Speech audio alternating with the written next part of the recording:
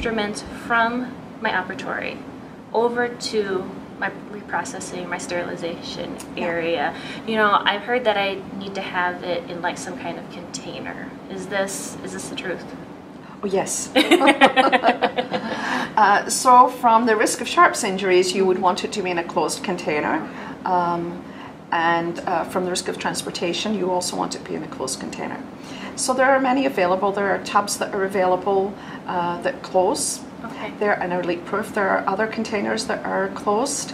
And you can also use perforated closed cassettes.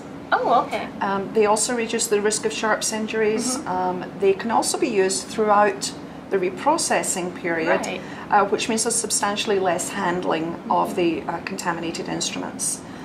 It also saves time, so it's a really good option. Uh, so the uh, the closed uh, perforated cassettes, uh, you after they've be, they're cleaned and everything's dried, Mm-hmm. uh, you can place them in uh, paper wrap Okay. and seal that, or you can use uh, paper, paper plastic pouches that are specifically sized for instrument cassettes. Gotcha. You know, I noticed that you said something in there, and you said once they're dried. Yes. So why do we have to dry them if we're just going to put them in a steam autoclave, anyways?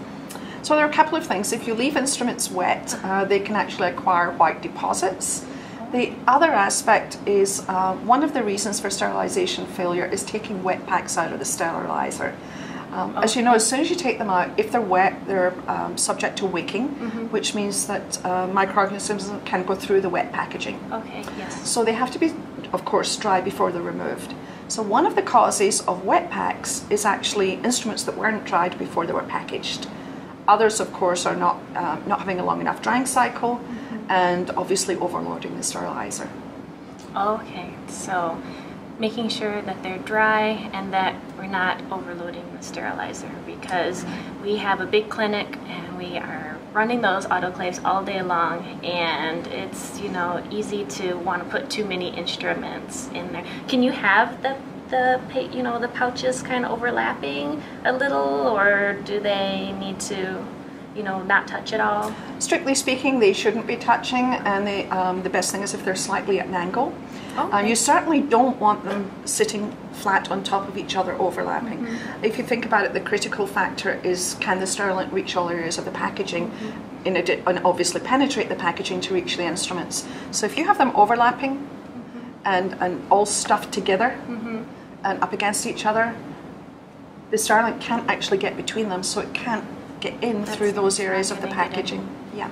So you're compromising the whole process by uh, stuffing them in and overlapping them. So these should be separate. One of the nice things about the instrument cassettes um, is you can actually get the racks that you use. Oh, and so okay. that you, they actually have racks that are spaced. Uh-huh. So you don't have to think about how much space to have between the cassettes. It's automatically It's uh, determined by the racks. And so that's helpful. You've got a certain amount of space and the sterilant can get in between those packages. Yeah, and So for uh, standardization. We talked yes. about in a bigger practice that Yes. you know, getting everyone on the same. yeah, absolutely. Yeah. So here, as you can see, we've put together a list of questions uh, that can be addressed during meetings. This addresses many areas of infection control protocols and procedures, and it really helps people review the protocols and really implement everything in the same manner. It truly makes everything easier for everybody on the team.